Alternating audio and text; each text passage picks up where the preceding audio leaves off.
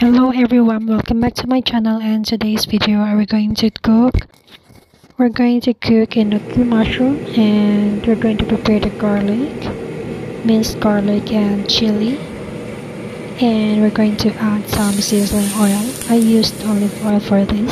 It's healthy. And light soy sauce. Add some a little bit of oyster sauce one teaspoon. Add some sugar one teaspoon sugar. So if you can uh, you can add if according to your preference mix it well and we're going to steam the enoki mushroom for 10 minutes.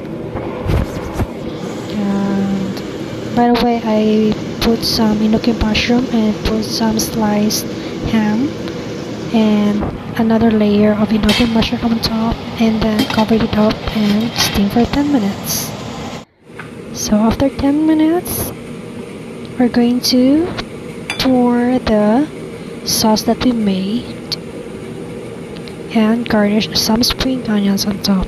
And there you go.